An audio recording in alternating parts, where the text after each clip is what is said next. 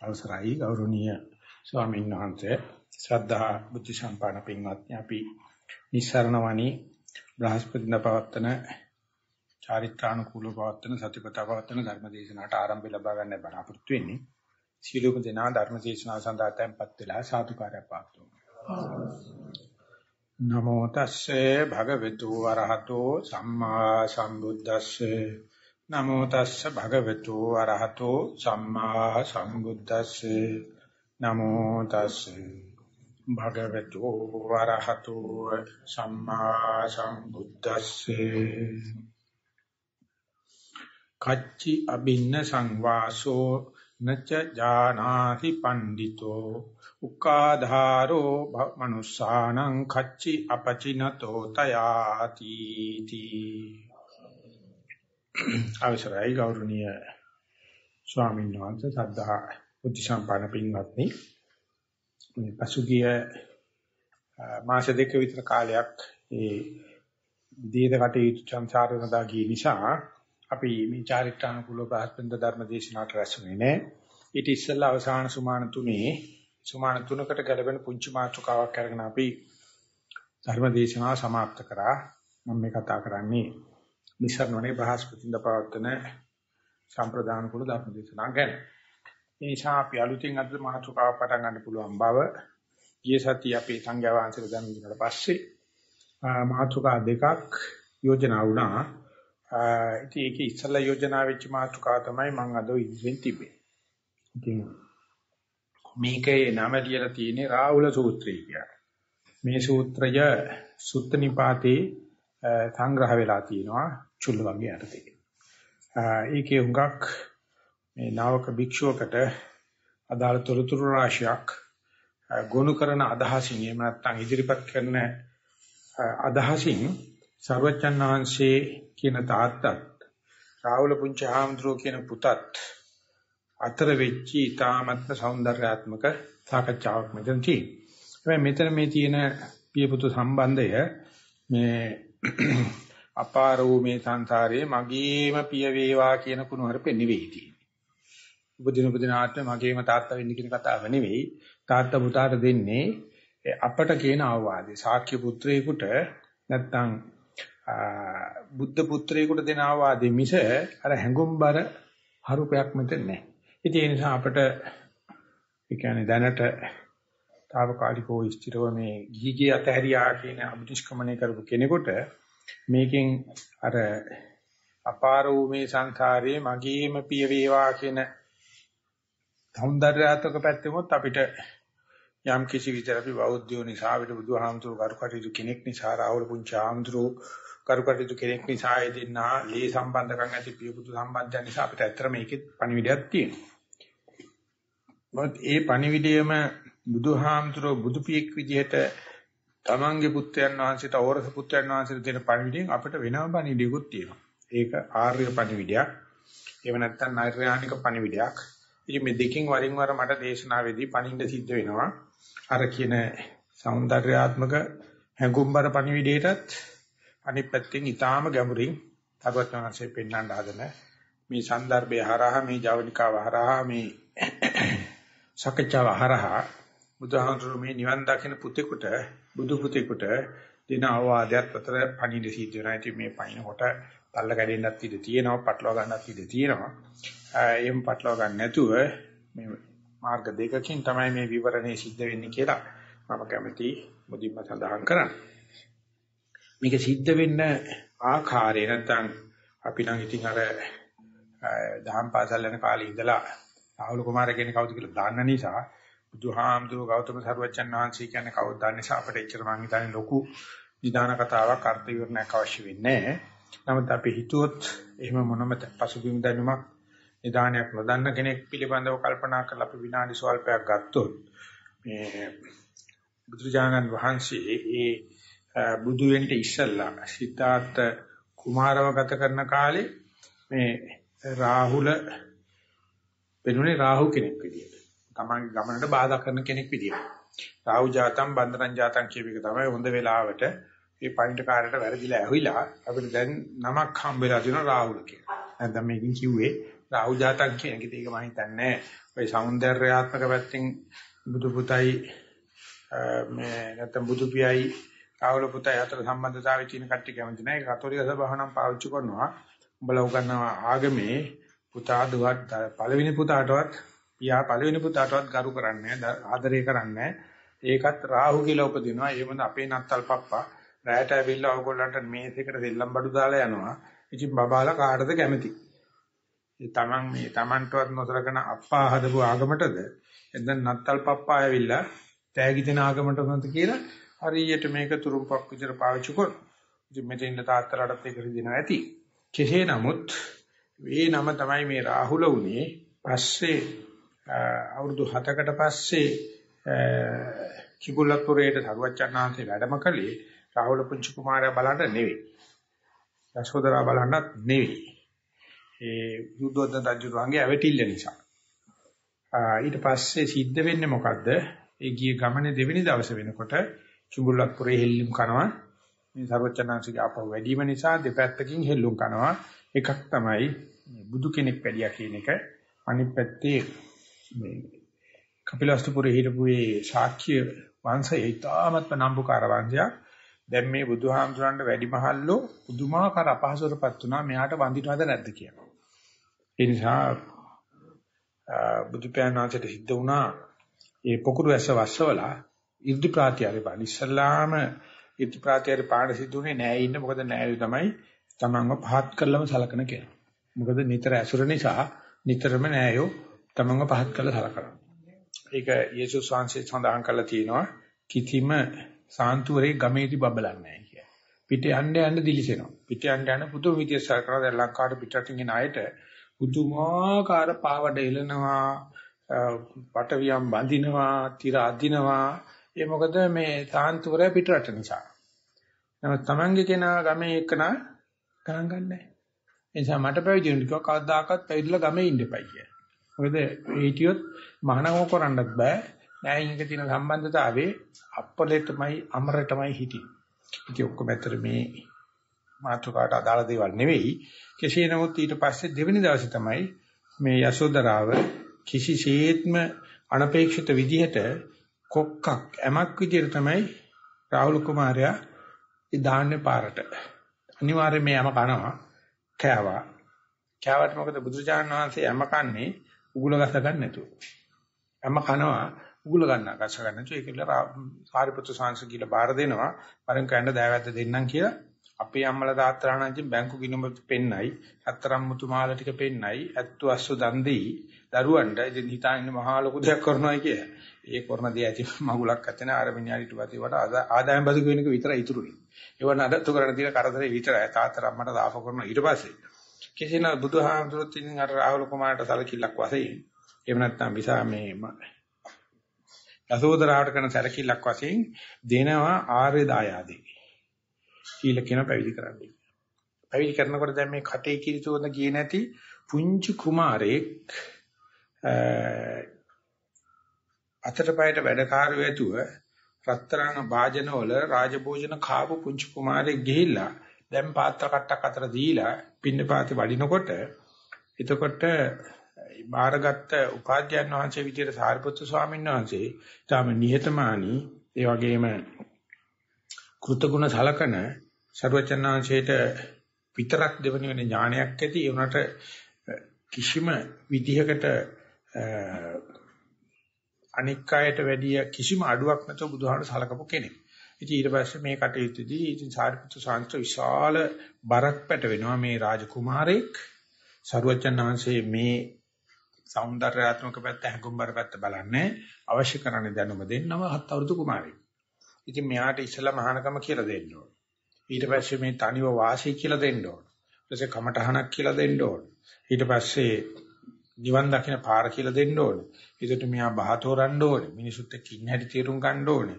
මේ අපච්චි තමයි මේ ඉන්නේ සිංහාසනයේ වැඩ ඉන්නේ රාජ මේ බුද්ධ රාජ්‍ය රජකම් කරන්න කියලා දැනගන්නත් ඕනේ. මේ ධාරිපුත්‍ර ස්වාමීන් කියන්නේ ඒකේ සේනාධිපති. ඒකෙමොත් නම්බුවක් ඔළුවට එනවා. ඉතින් සාරිපුත්‍ර ස්වාමීන් පුදුමාකාර අවශ්‍යතාවයක් තිබුණා මේ පුංචි කුමාරයාව නිහතමානී කරන්න. පුත්‍රජානනාංශයේ උදේ හවස ගිහිල්ලා චුල්ල රාහුල වාද සූත්‍රය, මහා රාහුල වාද සූත්‍රය, අම්බලට්ටික රාහුල වාද සූත්‍රය කියලා නිට්ටරෝම රාහුල කුමාරයාට මේ මතක් කරා අර ගිහි සම්බන්ධකම් නිසා මාන්නක්කාරකම් ගන්න එපා.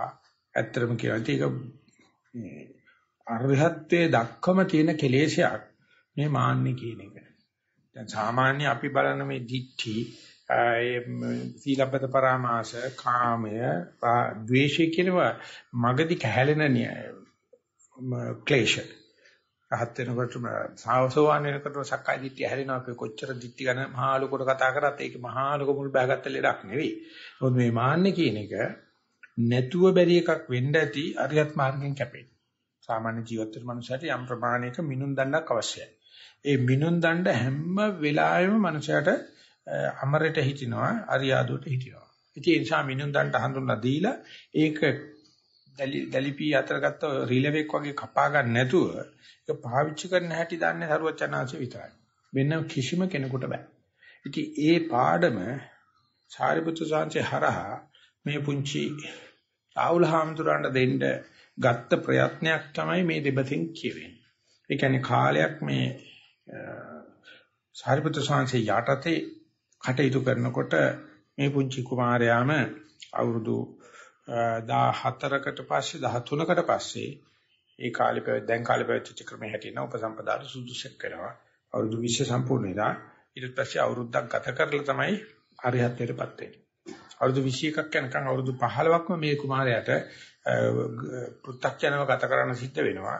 ඒ කාලේ පුරාවට සාරිපුත්‍ර ස්වාමීන් වහන්සේ සාබුදු පියාණන් වහන්සේ දීතු දීප උපදේශ මේ ත්‍රිපිටකයේ සූත්‍ර අන්තර්ගතව තියෙනවා නමුත් මේ රාහුල කුමාරට අනිකුත් අයත් නීති දාලා තියෙන බව, උපදෙස් දීලා තියෙන බව විනය අටුවාවේ පෙන්නනවා රාහුල කුමාරයාට සාමනීරෝ ඉන්න කාලේ සංඝහ වාසයෙන් නිර්පලා වැසිකිළියක නිදා ගන්න සිද්ධ වෙච්ච අවස්ථාවක් ගැන කතා වෙනවා. සාමනීරයන් නිදා ගන්න බැරි නිසා. එයා අනුපසම්පන්නෙක් වශයෙන් තීතනත් උපදෙස් දෙන්න නැති නමුත් සූත්‍රගතව නැහැ. නමුත් විනය පිටකේ කියන අය දන්නවා මේකේ. ඉතින් මෙතන මේ අපි අද ඉදිරිපත් කරගත්තේ කච්චි අබින්න සංවාසෝ නාච නාච ජානාසි පණ්ඩිතා න අවජානාසි පණ්ඩිතා කියන මේ වාක්‍ය බුදුහාමුදුරන්ට කියන්න සිද්ධ වුණේ මේක ඇත්තටම බුද්ධ දේශනාවක් ශ්‍රී මුක දේශනාවක් අර සාරිපුත්‍ර ස්වාමීන් වහන්සේත් එක්ක නිතර කටයුතු කරමින් වැඩ කරන පුංචි රාහුල හාමුදුරුවන්ගේ කටයුත්ත. රාහුල හාමුදුරුවොත් එක්ක සාරිපුත්‍ර ස්වාමීන්සෙත් එක්ක පවත්තන සම්බන්ධතාවය අර ගරුගාම්භීර විදියටම පෙරදි විදියටම තියෙනවද? නැත්නම් ඒක කුරුවල් වෙලාද? අරියාදුවට ගිහිල්ලාද? දීගේ කැඩෙන්න කිට්ටුද? දික්කසාද නඩුවකද ඉන්නේ කියලා දැනගන්නයි මේ කතා කරන්නේ. ඒ සඳහා මේ නිතර ඇසුරු කිරීම නිසා නැත්නම් අභින්න සංවාසය නිසා පඬිතයට සාරිපුත්‍ර නාමචි පඬිතයටම අවජානාසි අව탁සීරු කරලා කතා කරනවාද කියලා අහනවා. අව탁සීරු කරලා හැසිරෙනවාද කියලා අහනවා. කච්චි අබින්න සංවාසෝ න අවජානාසි පඬිතෝ. නිතර ඇසුරු කිරන්ට ලැබීම නිසා ඒ පඬිතයට උඹ අව탁සීරු කිරීමක් කරනවා. ඒකයි බුදුජානක අහන්නේ. එතනින් පඬිත කියන බුදුජානකත් නේ සාරිපුත්‍ර ස්වාමීන් වහන්සේට. කිම කියලා ප්‍රශ්නේ අහන්නේ. කිම නිතර ඇසුරු කිරීම උදේවස දකින්න හම්බෙන්න නිසා මේ පඬිතිය පහත් කළ සලකනවා. උක්කාදාරෝ මනුස්සය මනුස්සේසු කච්චි ආචිනතෝ තය. අපචිනතෝ තය. මිනිස්යන්ට මිනිපහනක් වෙච්ච බණ බහන ධර්මදේශනාය කටයුතු කරන මේ සාරිපුත්තු මගේ ස්වාමීන් වහන්සේ නමකට උඹ පහත් කළ සලකනවා. උඹේ පැත්තට මේ කටයුතු ටික වෙන්නේ නැහැ කියලා රටේ ලෝකේ වැඩ කරන වැඩි කියලා හෝ එහෙනම් නිතර නිතර දකින්න හම්බ වෙනවා කියලා හෝ தත්ත්වේ පහත් කළ සලකනවාද කියලා මේ බුදුහාමුදුර තමන්ගේ පුතාගෙන් අහන එක අපි කියන්නේ බුදු පියාණන්සේ රාජපුත් පුංචාම්සෝගෙන් අහනවා ඒතර රාහුල පුංචාම්තුරු මම හිතනවා බුදුහාමුදුරන්වත් බලාපොරොත්තු වෙච්ච ආදර්ශය දීලා තියෙනවා. රාහුල හාමුදුරුගේ උපත්යන් වහන්සේ වෙන සාරිපුත්‍ර ස්වාමීන් වහන්සේටත් බුදුජානක වහන්සේ ළඟට ගිහිල්ලා චෝදනා කරන තරම් දෙයක් සිද්ධ නොවෙන්න රාහුල පුංචාමුරු කටයුතු කළා තියෙනවා. ඒක මේ ප්‍රශ්නෙට රාහුල හාමුදුරුවෝ එතනදීම දෙන උත්තරේ වාචිකෝ පේනවා නාහං ආබින්න සංවාසං අවජානාමි පඬිතු මම නිතර ඇසුරු කරන්න ලැබුණයි කියලා මගේ පඬිත වූ සාරිපුත්තු ස්වාමීන් වහන්සේට මං අව탁සිරු කරන්නේ ඒ වාගේම උක්කාදාරෝ මනුස්සානං නිච්ඡං අපචිනතෝ මය ලෝකේ අනන්ත අප්‍රමාණ සේවාවක් කරන ඒ කියන්නේ මිනිසුන්ගේ නැන පහන දල්වන මුන්වහන්සේ වගේ කෙනෙකුට මේ මට කෙරෙන දෙයක් කෙරුන්නේ නැහැ කියලා එහෙම නැත්නම් මිනිසුන්ට බැරිනකොට මට මේ හාමුදුරන්ට ඕන වෙලාවක කතා කරන්න පුළුවන් කියලා. මේ හාමුදුරු නිතරම මං ගැන හොයනවයි කියලා. මං කවදාකවත් අපේ පහත් කරලා සලකන්නේ නැහැ. එහෙම නැත්නම් අව탁සීරු කරන්නේ නැහැ කියලා සාරිපුත්‍ර රාහුල හාමුදුරු කියනවා. ඉතින් මේක මේ සාමාන්‍යයෙන් මේ රාහුල හාමුදුරු මේ ඇත්ත කියනවද බොරු කියනවද කියන වෙනම කතාවක්. එතකොට බුදුරජාණන් වහන්සේට මේ වගේ දෙයකට ගිහිල්ලා රාහුල හාමුදුරන්ට අතකාලා අනේ මගේ පුතේ කියලා හොරතල් කරන වෙනුවට ඔබ මේ පොට වරද්දාගෙන කියලා අහන්න තරම් වෙලාව තිබුණාද කියන එක තවත් ප්‍රශ්නයක්. එතකොටම රාහුල හාමුදුරන්ට සැක නැතුව තමන්ගේ තාත්තා නෙවෙයි ඉස්කෝලේ ලොකු සර් මෙහෙම ප්‍රශ්නයක් අහනවා පන්ති වාර කුරට ඔබ බැන්නද කියලා. අහන්නේ වගේදී සැක නැතුව කියන්න පුළුවන් තත්ත්ව කියන එක මේ ශාසනයක තියෙන පුදුමාකාර ආශ්චර්යවත් දේවල්. අපි හිතනවා මේ ශාසනයේ තියෙන ආශ්චර්යමත් මේ හේතුඵල ධර්මය දන්න එක, පටිච්චසමුප්පාදය දැනගන්න එක, විපස්සනා ඥාන පහල කරගන්න එක, මාර්ගඵල ඥානය දන්නේ කියලා. ඒ ඔක්කොම දන්නවනම් වෙන්නේ ওই ටික තමයි. මේ ටික නැතුව ඔය මොන ධ්‍යාන මාර්ගවල ලැබුණත් ඉස්සගේ ඔළුවේ තියෙන අසුචි ටික වගේ ඒ මනසට ඒක අහේනියට හිටිනවා. ඒ මනසට ඒක පාවිච්චි කරගන්න දන්නේ අද ඒ බංව බලනකොට ඉවැනි ಗುಣ නැතුව ಗುಣ තියනවා කියන පුරුෂයන් දිහා බලනකොට ඒ වගේම මේ භාවනා කරනකොට භාවනාවේ ප්‍රතිඵල Tamanට නරකට පාවිච්චි කරන අවංක යෝගාවචර දිහා බලනකොටත් මේ විදර්ශනා උපක්ලේශ කියන එක මේ වංචනික ධර්ම කියන එක මේ ෂට මායාවී ගති කියන එක කතා කරගන්න බැරි වාතාවරණයක් අද ලෝකේ පවතින. ඒ මොකද හේතුව කට්ටිය භාවනා කරන්නේ නැහැ. ඒක කතා කරන්න වැඩක් නැහැ. කට්ටිය භාවනා පැවිදි වෙලා තියෙනව සිව්පසේ වඩන්න මිසක් භාවනා කරන්න නෙවෙයි.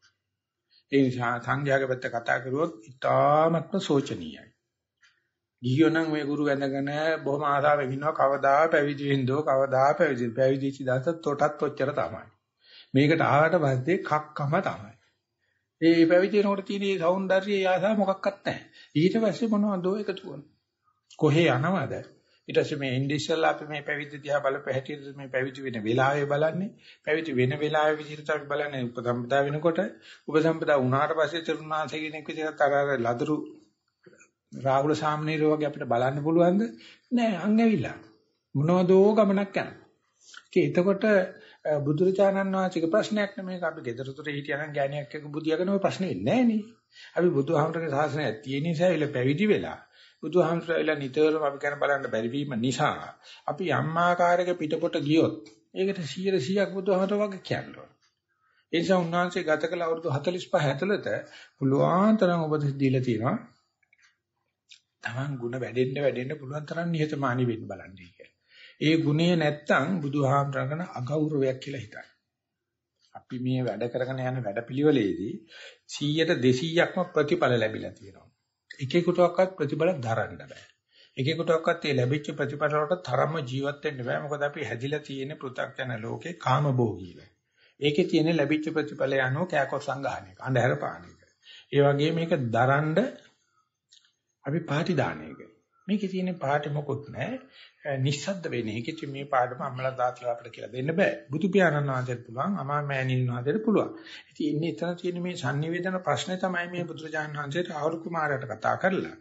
නිතර ඇසුරු කරන නිසා, නිතර ඇසුරට ලැබිච්ච නිසා, මේ පඬිත වූ සාරිපුත්‍ර ස්වාමීන් වහන්සේ උඹ අවභාසයට ලක් කර නැත්නම් අවජානාසි අව탁සිරුවපත් කරනවා. ඒ නැත්නම් මේ ලෝකයාට මේ සා විශාල සේවයක් කරන්නා වූ මේ පඬිතයට අනේ යා මේ මගේ ගුරුනාංශය යා මොකද්ද මම දන්නවනේ යා ගැන කියලා අපචින්නත පහත් කළ සලකනවාද කියන මේ ප්‍රශ්න දෙක මුළු ලෝකේ ශාසන ඉතිහාසයේ දිග්ගටම තිබිලා තියෙනවා. හැම ශාස්ත්‍රුන් වහන්සේ නමක්ම තමන් වහන්සේගේ ගෝලයන් අතින් විශේෂ විවේචනකට ලක් කරලා තියෙනවා. එනත මරුන් කාලා තියෙනවා. ඒ මොකද මේ මාන්නේ නිසා බලතුලනේ නිසා ਸਰවඥාන්සේ ඇති කරපු ශාසනයේ අලංකාරයක් තමයි උන්වහන්සේ ස්වභාවික මරණයක් බුද්ධ විඳා.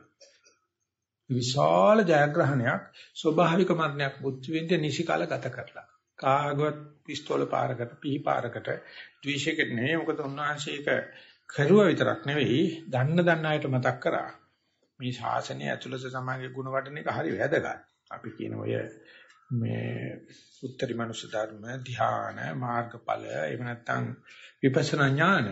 නමුත් ඒක තරම් නොවන ජීවන රටාවකට ඒක තුඩු දෙනවා නම් ඒක ඉතින් සරුවච්චන් ආංශීකම අඩුපාඩුවක් අපිට මේ කියලා දෙලා නිසා. ඒ නිසා සරුවච්චන් හරියට වෙලා අරගෙන තියෙනවා. සංඝයා වහන්සේලාට විශේෂම උන්වහන්සේ විදිහට ජීවිතපත්‍යාගයෙන් මේ පැත්තට ආපු යත්තන්න මේ ಗುಣ අරසා කරන ජීවත් වෙන එක. ඒ නිසා බුදුජානනාංශී දොස්සහලා තියෙනවා. මේ සංඝයාට සුවිශේෂ කළ සලකනයි කියලා. බුදුහාමුදුරුවෝ සමාන ගතිය ඇතුව සම සමාජ ජීවිතයක් ගත කරනවා. ඇයි ගිහට පැවිද්දට වෙන් කළ සලකන්නේ? ඇයි මේ මේ Taman ළඟ පැවිදුණයි කියලා විශේෂයෙන් සලකන්නේ? කියලා කෙලිම චෝදනා කරති බුදුරජාණන්සේ සලකන්නේ මේ සංඝයා සංඝ භාවයට පත්ුනේ බුදුහාමුදුරුවෝ නිසානේ. ඒත් හරි වැඩි හරියක් කරලා හොඳ ශාන්තව ශාසනය නිවන රස විඳිනවා නම් බුදුරජාණන්සේච්ච ප්‍රශ්නයක් නැහැ. නමුත් මේගොල්ල පිටපොට ගියොත් බුදුහාමුදුර ඇති කරපු මේ සංඝ සමාජය පිටපොට ගියොත් ඒ කරන හැම දෙයකින්ම ਸਰවචන්නාංශයට සම්‍යක් දෘෂ්ටිකත්ව නෙවෙයි ආයුධ දකින්ට ඉන්නත්තන්ට ලොකු ආයුධයක් වෙනවා.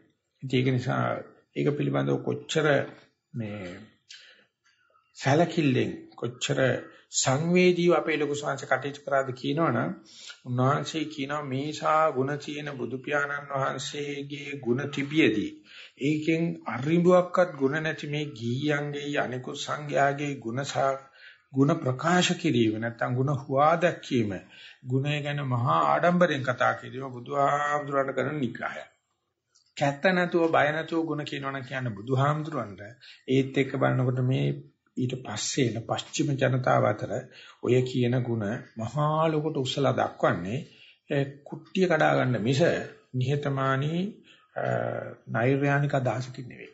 ඒක නිසා අපි යම් විදියකට බුදු ගුණ තිබියදී වෙන කෙනෙකුගේ ගුණ අතිරේතව අතිශෝක්තිව කතා කරන එකට බුදුහාමරන් නිග්‍රහය. ඒ වගේම බුදුරජාණන් වහන්සේ බුද්ධ පුත්‍රයෙක්ගෙන් බලාපොරොත්තු වෙච්චා වෙන්නා වූ ඒ ಗುಣ තිබියදී අපි වෙන වෙන දේවල් කරන්න ගිහිල්ලා තෝත් එකයි තුගේ සාස්ත්‍රුණ වංශෙත් එකයි කියලා කායින් හරි වචනයක් අහන්න උනොත් බුදුරජාණන් වහන්සේකට වග වෙන්න එපා කොතනකින් හරි. ඉතින් ඒක නිසා මේ බුදුහාමුදුරු අඳුරලා දීපු මේ සාරිපුත්‍ර ස්වාමීන් වහන්සේ රාහුල හාමුදුරුත් එක්ක මේ පවත්තන ගනුදෙනුව මං කැමති දේශනාවේ පසුවරියේදී තමයි මූල කර්මස්ථානය හඳුනාගත්තට පස්සේ කොච්චරක් මූල කර්මස්ථානය පහත් කරලා සලකනවද? නැත්නම් මූල කර්මස්ථානයේ තිබියදී අහල පහල යරෙව්වත් එක්ක ගනුදෙනු කරන්න ගිහිල්ලා මූල කර්මස්ථානයේ අමතක කරගත්තොත් වලිග පාගාගත්ත මිනිහෙක් වගේ භාවනා ලෝකෙදී පටලවෙන පටලවිල්ලත් මේ සමාජ ජීවිතේ පටලවිල්ලත් දෙකම එක මොඩල් එක තියෙනවා. ඉතින් ඒක නිසා බුදුහාමුදුර අඳුර දුන්නාට පස්සේ සාරිපුත්තු ස්වාමීන් වහන්සේ රාහුල හාමුදුරුවෝ කෙරෙහි විශේෂයක් කරන කාරණා දෙක තුනක් නිසා එකක් කිරි කැටි දරුවෙක් හත් අවුරුදු දරුවෙක් දෙක බුදුහාමුදුරන්ගේ අතිජාත අවුරුස පුත්‍රයා අන්තිම බුදුහාම අතින් අල්ලන ඇවිල්ලා බාර දුන්නේ මෙන්න මොකට බලාගන්න කියලා. ඒතකොට මේ සාරිපුත්‍ර ස්වාමීන් ඒ දිහාවට කොන්දේසි විරහිතව සලකනවනේ. නෝ සාරිපුත්‍ර ස්වාමීන් කියන්නේ පුදුමාකාර වැඩ ගොඩක් තියෙන කෙනෙක්. පින්නපාත සංඝයා වැඩියට පස්සේ දැන් අපි හිතන්නේ 25 නමක් මෙතන ඉන්නවා. ඒ යන හැම සංඝයාම දොර වහලා යනවද? වටින බඩුවක් තියෙන එකක් ඇතුළට දාලා යනවද? සිවුරු එළිය දාලා යනවද කියලා ඔක්කොම බලලා තමයි පිහගෙන තමයි පින්නපාත වඩින්නේ.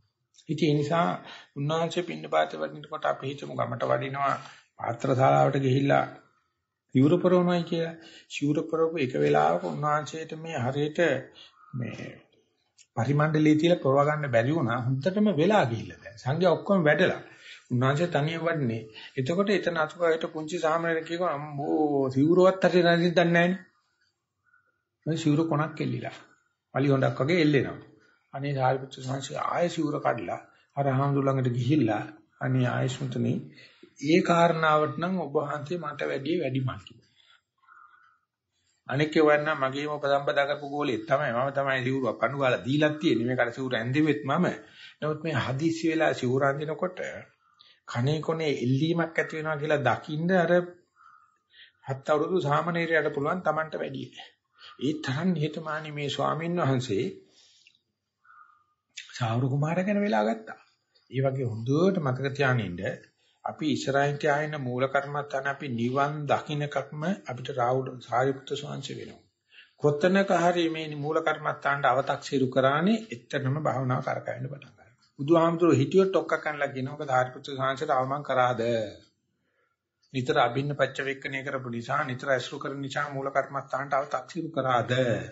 එයා ගොඩාක් වැඩ කරන කෙනෙක් කියලා එහෙම නැත්නම් ලෝක සාසනික සේවාව ගොඩාක් කරන කෙනෙක් කියලා එයා අව탁සීරු කරාද කියලා බුදුහාමර අහන්නේ මේ කමඨාන් සුද්ධ කිරීම. පිනවකට නම් පේන්නේ මේ රාහුල මේ සාරිපුත්‍ර ස්වාමීන් වහන්සේට අවශ්‍ය ගෞරවය ගෙනල්ලා දීමක් කියලා. එතකොට එහෙම නැත්නම් බුදුරජාණන් වහන්සේ ගිහිල්ලා හරියට ආමි කමාන්ඩර් සෙබලෙක්ගෙන් අහුවොත් උඹ බලගණ නායකයාට සැලුට් එක ගැහුවද කියලා. ඒතර බුදුහාමරෝ සැලුට් එක ඉල්ලන එක නෙමෙයි කරන්නේ. දුක්ඛත් ඉල්ලන එකනේ කරන්නේ ඒ නිසා බුදුජානනාංශ මේ පුංචි ආමතුරන්ට සත්තන් දාන්නේ මේ පැලැන්තිය රකින්න කියන කතාවක් වගේත් පේන්න තියෙනවා. නමුත් මේ සත්තන් දාන්නේ තමන්ගේම පුතාට. ඉතින් ඒ නිසා කවුරු හරි ගිහිල්ලා ඉවර වෙලා කමඨාන් සුද්ධ කරනකොට කිව්වොත් දැන් ඔබතුමා givis ගත්තනේ දැන් මේ මූල කර්මස්ථානේ කියලා. දැන් මේ මූල කර්මස්ථානට ගෞරවය නැත්නම් ඒක නිවන් දක්වාම මේක පාර පෙන්වනවා කියන ගෞරවය සලකනවාද කියලා අහනකොට ඒ ගුරුන්නාංශයට කරු කරන්නේ නැත්නම් ඒ කරු කරන්නේ නැති කෙනා මූල කර්මස්ථානට කරු කරන්නේත් නැහැ කමඨාන් සුද්ධ කිරීමට කරු කරන්නේත් නැහැ. එයාර එනේන දේ අල්ලගෙන ඉතින් අහනවා මම භාවනා කරනකොට මට මෙහෙම වුණා එහෙම වුණා ඇයි කියලා. ඒකට අහනවා මේ මූල කර්මස්ථානේ පෙනිපෙනීට මේක සිද්ධ වුණේ. එතෙන් ඒක පේනකොට මූල කර්මස්ථානේ නැද්ද? ඉතින් කමඨාන් සුද්ධ කරගන්න යන කෙනාට තද වෙනවා. මේ මම කියන්නේ කහ පාට ආලෝකයක් දැක්කයි කියලා. මේ මගෙන් අහනවා මේ මූල කර්මස්ථානේ දැක්කද කියලා.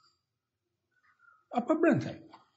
කමඨාන් සුද්ධ කරන අවුරුදු 10ක් කරලා බලන්න 20ක් කරලා බලන්න කාටවත් මේ කාරණා තේරෙන්නේ නැහැ. මම හිටියා මාස 18ක් විතර පන්ති පිටිපස්සේ දන ගහගෙන මූල කර්ම කමඨාන් සුද්ධ කරනකොට ඔච්චර තමයි පණිවිඩය. ඔය මොන බයිලා කතා කරාද? ඔය මොන දේවල් දැක්කත් මට මුලින්ම අඳුනලා දීපු මේ පඬිචා දැකනහද? පඬිචා පේන තෙක් මානද ඉන්නේ? උගෙන විතරක් කතා කරපම් ඔය පේන මොනවා කතා කරත් ඒක අපිව නොව ගහන දෙයක්. මේ සරල කාරණාව තේරුම් ගන්න මොනම පඬිතියෙකුටවත් බෑ. ඒ තරම්ම සිලිලාරයක් ඇතුව අපි භාවනාවට වාඩි ඒ තරම්ම සිලිලාරයක් ඇතුව අපි මහානකමට එන්නේ. ආවට පස්සේ අපිට අර මේ සබ්බ දුක්ඛ නිසරණ නිබ්බාන සත්‍ය කරණත්තාය කියන එක මතක නැහැ. අතරමඟදී හම්බෙන මොකක් හරි අල්ලගෙන අර પરම්පරාවත් ඉවරයි, ගෝලයක් ඉවරයි, ගුරුනාසෙත් ඉවරයි, ස්ථානෙත් ඉවරයි ඕන පටන් ගන්නවා. අලුත් අලුත් වැඩ. ඇත්තට මේකට ඒ බුදුහාමුදුරුව සාරිපුත්‍ර ස්වාමීන් වහන්සේත් ස්ථාන බාන ලොකු ස්වාමීන්සෙත් අකමැති නෙවෙයි. බලනවා මේ මනුස්සයන මේ මේදී දරන්න පුළුවන්ද? මේ අලුත් වැඩ පිළිවෙල පටන් ගත්තට අලුත් ගෝලිය හදාගෙන අලුත් තැන් හදාන කියාර කරන්න පුළුවන් කියන එක පරීක්ෂා කරනකොට තමන්ගේ ගුරුවරයා පිළිබඳ පුදුමාකාර ද්වේෂයක් එන්න පටන් ගන්නවා. ඒක ස්වභාවිකයි. මම මේ යන්න මම 28 වෙනිදා මම තන ගියේ 26 27 ආව ඔය මේ අපේ කඳුකට අපේ පේමසිරි ස්වාමීන් වහන්සේ ළඟ ඉඳලා පිටරට මහත්තයෙක් ඇත්තට මේ දා අදහස තිබුණේ ඇමරිකාවේ අර යෝගාවචර රාහුල ස්වාමීන් වඩින්න යයි කැපකාරයාව මම යන නිසා යෝගාවචර රාහුල ස්වාමීන් වැඩි නේ. වැඩි යන එක ලොකු අපිට ලොක් කරපු ගෞරවයක්. ඒතකොට ගෙනත් දුන්නා උපක්ලේශ කියන පොත. ඒක ගම්පහේ මේ ප්‍රේමසිරි ලොකු ස්වාමීන් වහන්සේගේ ජීවන චරිතය වගේ. උන්වහන්සේගේ ගුරුනාංශිකෙන් උන්වහන්සේ බැනුම් අහපු ඇති. ඒ මොකද හේතුව උන්වහන්සේට පුංචි කාලේ ගොඩාක් අනුන්ගේ හිත් කියවන්න පුළුවන් ගතියක්, සුව කරන්න පුළුවන් ගතියක් ගොඩක් මේ ඒ හැකියාවල් තිබිලා තියෙනවා. ඉතින් ඒ ශාංශ ඒක හිතලා තියෙන්නේ මේ මටම ආවේනික සුවිශේෂී ගුණ ඒ ගුණ භවනා කරනටත් වැඩෙනවා කියලා ඒක පාවිච්චි කරන්න පටන් ගන්න තියෙනවා. Taman වෙත පැමිණෙන අයට සුව සේවාවල් කරන්න. එහෙම නැත්නම් ඒකේ හිත බල්ලා කියන්න. කියන කිලිව හරියනවා. හරියන්න හරියන්න ගුරුනාංශ ගන්නවා. ඉතින් මේ ස්වාමීන් වහන්සේ හිතා ගන්න බැරිලු මේ මොකද වෙන්නේ කියලා. ඉතින් දැන් උන්වහන්සේ ඉන්නේ ලංකාවේ ඉන්න වැඩ වැඩි හිටිම ස්වාමීන් වහන්සේ නමක් උන්වහන්සේ මතක් කරනවා මම එදා ඒ යන්න ගිය මොනම හරි පාරක ගුරුනාංශේ මගේ හිත ගන්න සුළුව ඉඳලා මට අවවාද නොකර හිටියානම් මම මේ පැත්තේ උගාක් දිනුන ඉඳී තිබුණා හැබැයි මම ශාසනය පිළිගන්නවා අත තිබ්බ හැම කෙනාම පිළිගුණා අද මම යන්තම් පණ ගහකට රැගෙන ඉන්නවා. මොකද එකම දෙයකටවත් සරකෙව්වේ නැහැ. මගේ ගුරු හාමුදුරුවෝ මම ඉස්රායින් තියාන හිටියා. හැබැයි මට ගුරු හාමුදුරුවෝ පිළිබඳ තරහ ආවා. ඒකේ පොතේ ලියලා තියෙනවා. මේ මේ වෙලාවල් වල මට ගහපු ගැහිල්ල මම මේ වීදුරු භාණ්ඩයක් කරන ගලක දල් කිරෝ වගේ මම තැටි ගහෙන්න ගැහුවා. ඇස්සකට වැච්චි ලබු කුණු ලබු මේ මේ කුණු පොල් ගෙඩියක් හතරමං හන්දියක් ගහන. ඇස්සකට යන්නේ. අන්නේ වගේ ගැහිල්ලක් මට ගැහුවා. දැන් මට තේරෙනවා ඒක ලියලා තියෙන එකට නම් මම ඉතල ඉන්නේ නෑ ඒ ශාංශෙත් එක්ක. අද එක්කෙනෙකුටවත් මේක තේරෙන්නේ නැති නිසා මට කමටහන් දීම එපා වෙලා තියෙනවා කියලා. අද ඉන්නේ එක්කෙනෙකුටවත් මේක තේරෙන්නේ නෑ මොනවාරි කියපු ගමන් තරහ වෙනවා. ඒ ඒ මේ මේ බුදුහාමුදුරුවෝ කියප පණිවිඩය මේ දෙන්නේ. මගේ ගුරුහාමුදුරුවෝ මට කියව එක මම මේ දෙන්නේ. මේ උඹ ගැන මූණ බලාන කරනවා නෙවෙයි. මට හිතන විදිහට උත්තාන සම්පදාවට වඩා ආරක්ක සම්පදාය වැදගත්. මේ උපය ගන්න ලද ගුණේ වඩා රැකගන්න එක වැදගත්. එහෙනම් මේ ගුණ වර්ධනය කරන්න ගියාට පස්සේ අර වලහා බුහාමාරුවෙන් කන්දක් ගහක් උඩ නැගලා එකස්කින් ගහ බදාගෙන අනික් අතින් මේ කඩනවා. ඉතින් මේ කරනකොට හොඳ වද හම්බ වෙනකොට ඌට වටපිට බලන්න වෙලාවක් නැහැ. හොඳ හොඳ වද අරගෙන පිටිපස්සට දානවලු වැලහින්නේ පිටිපස්සේ ඉන්නවා කියලා. ඒ ඌ ඒ කරන වැඩ. ඒතකොට මේ මේ මේ කැලේ ඉන්න වැද්දා දන්නවා වලහ මෝඩයා අපිට ඒ ගහට අගින්නත් බෑ. අපිට මේ කඩන්නත් බෑ. හැබැයි වදේ දානකොට මේක බලන්න පිටිපස්ස බලලා නෙවෙයි පිටිපස්සේ ඉන්නවයි කියලා දාන්නේ. අර ඔක්කොම වද ටික එකතු කරගන්නවා යටට වෙලා ඉන්නේ. වලහ පිටිපස්සට බලනකොට ගෑණි මීවද කාලා බලන්නේ. බලනකොට මීවැද්දයි වෙන්නේ ඉන්නේ. ඉතින් වලහ එළවනවලු පිටිපස්සේ. ඒ වගේ අපි හම්බ කරන්න දැනගත්තට හම්බ කරලා තැම්පත් කරන්න ඕන තරම් දන්නේ නැහැ. මී කඩන වලහ වගේ වල ඉන්න පිටිපස්සේ ඉන්නවා කියලා හම්බ කරලා හම්බ කරලා දෙනවා. වල ඉන්න පිටිපස්සේ නෑ ඌ ඉන්නේ ගහක තනිය අතින් එල්ලිලා. ඌට වටපිට බලන්න බැරි තැනක. ඒ නිසා අසීමිතව යෝගාවචරය ගුණ වඩනවා. එක්කෙකුටවත් තේරෙන්නේ නැහැ ඒක අරසා කරනවා. ඒක වලහමී කැඩුවා වගේ කියලා කියනවා. ඉතින් ඒක උඟාවක් බලපාන්නේ ගුණවන්ත, සිල්වන්ත, පින්වන්ත ස්වාමීන් වහන්සේලාට. අන්තිමට ඒත් සීදීනස ගන්න. එතෙන් සාධන වෙන්නේ වැරදි නමක් ඇති කර ගන්නවා. ඒකට ගුරුනාංශයට ඇතුළේ තරහ කනගාටුට වැඩිය හොඳයි. කිලින්ම ගෝලයට බැනලා ඔයඩ අත තියන්න එපා. බොයි තීන ටික අරගෙන ඵලයන්. ඔකට ඕන තරම් කල් තියනවා කරගන්න කියලා කියන එක පස්සේ ගුරුනාංශයත් වහ කරනට වැඩිය ලේසි. ඒක තමයි මේ බුදුරජාණන්සේ කියන්නේ. ඉතින් ඒක නිසා ඒකට මොකද්ද ගැලවුම් මාර්ගය? මුළු ලෝකේ තියෙන සෑම ආගමක් මේකට අහුවෙලා ඉවරයි. ඒ නිසා ආගම කියනද දේශපාලනය. බලය තහවුරු කර ගැනීමක් පමණයි.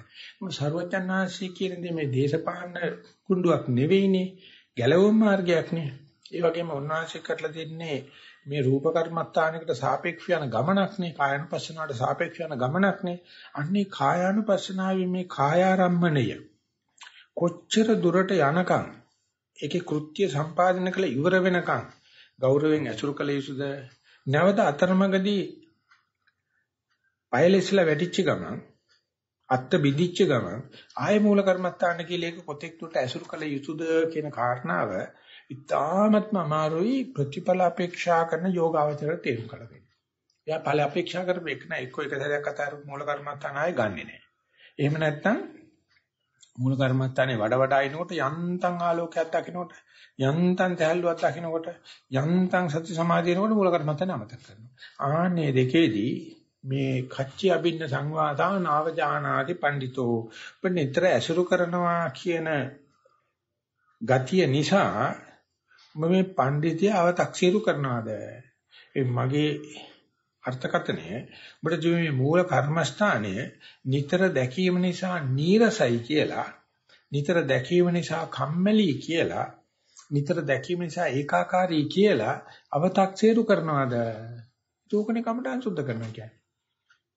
කට්ටියට උන ගන්න මූල කර්මස්ථානේ නෙවෙයි නැත්තම් මූල කර්මස්ථාන නිවන නෙවෙයි ඇත්ත. මූල කර්මස්ථානේ පැත්තක තියෙදි මේ පේන ආලෝක දිගේ යන්න හදනවා. එහෙම නැත්නම් මේ වේදනා දිගේ යන්න හදනවා නැත්නම් මේ හිතවිලි දිගේ යන්න හදනවා එහෙම නැත්නම් මේ ආලෝක දිගේ යන්න මේ එකක්වත් නෙවෙයිනේ අපේ චේතනාව. අපේ චේතනාව අපි උදාහරණයක් එක්ක කීසගත්තේ. කර්මස්ථානචාරවලත් එක්ක කීසගත්තේ. වැඩමුළුවේදී මූල කර්මස්ථානේ. මේ මගදී හම්බෙන එක එක එක එක දේවල් නිසා අචේතනික වෙත පැමිණෙන මේ ආගන්තුක ධර්ම නිසා තමන් කලින්ම ගත්ත මේ මූල කර්මස්ථානත් එක්ක තියෙන මේ givisuma තේරුම් ගන්න බැරි ගතිය සාමාන්‍ය යෝගාවචරයට නෙවෙයි අනාගාමී උත්තමයෙකුටත් වෙන්න පුළුවන් වැරද්දක්. ඒ වරද්දපු තැනම භාවනා එක තැන කරකෙන්න ගන්න. කොයි වෙලාවක හෝ කොච්චර භාවනා කරකුණත් කොච්චර භාවනා එක තැන මෙට්ට ඇහුණත් තමයි පේන තෙක් මානේ මූල කර්මස්ථානයේ තියෙනවා නම් භාවනා වැඩෙනවා කියන වීජගණිතමය සමීකරණය බුරුමේ ස්වාමීන් වහන්සේ උගන්වනවා. ඔබට කොච්චර තලහැප්පිලියාවක් කොච්චර පැද්දෙන්න ගැසෙන්න ගියත් කොච්චර නිදි කිරා වැටුණත් කොච්චර ආලෝක පෙනුනත් කොච්චර సౌందర్యාත්මක දේ පෙනුනත් මට මේ දින එකම ගැලවුම් මාර්ගය ප්‍රත්‍යක්ෂණය උරගා බලන තියෙන ක්‍රමය මං මුලින් කිව්සගත්ත මූල කර්මත්තානේ පේන චෙක් මානේ තියෙනවනම් මට ප්‍රශ්නයක් නැහැ. එහෙම නැත්නම් කියනවා අපි දන්නේ නැති පාරක ගමනක් යනවා. GPS එක පෙන්නනවා නම් පාර.